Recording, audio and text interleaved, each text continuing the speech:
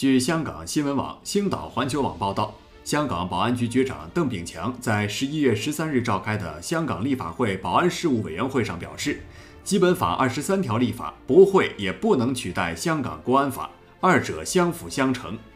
香港立法会议员谢伟俊在会上关注，近年香港被指太偏重国安，为减少国际挑拨抹黑，他询问特区政府会否因时制宜。在完成基本法二十三条立法后，在政治上减辣，例如考虑以基本法二十三条本地立法取代香港国安法或当中部分条文。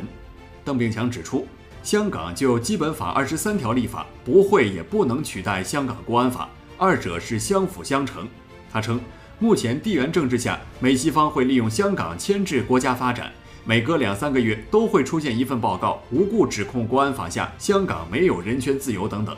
有的报告还说解放军武装入侵，当真匪夷所思，但不会因为有人抹黑而不做应该做的事。他强调，基本法二十三条立法不会影响人做生意，反而对经济有帮助，令旅客感到安全，不会有人因为口音不同就被打。他也重申，基本法二十三条立法不会影响一般市民言论及集会等权利。邓炳强表示。政府不是刻意经常提国安法吓市民，而是居安思危，要想想2019年血的教训。他指出，经过2019年港版颜色革命，有人企图颠覆政府，有人扔汽油弹，相信市民心中有数。基本法二十三条立法有必要，政府也会不停解说。当有立法框架，会做出咨询，务求在2024年内完成立法。据此前报道，香港特别行政区基本法第二十三条是香港基本法中一条规定香港应自行立法维护中华人民共和国国家安全的法律条文。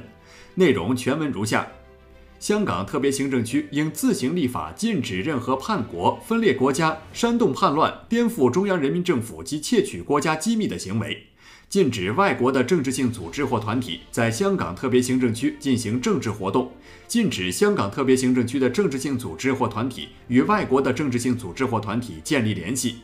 香港特区行政长官李家超十月二十五日在其任内第二份施政报告中指出，有些国家因自身利益刻意针对中国，阻碍“一国两制”在香港成功实践；外部势力继续插手干预香港事务。香港特区政府正全力研究《基本法》第二十三条的有效立法方案，落实特区政府应实践的限制责任，二零二四年内完成立法。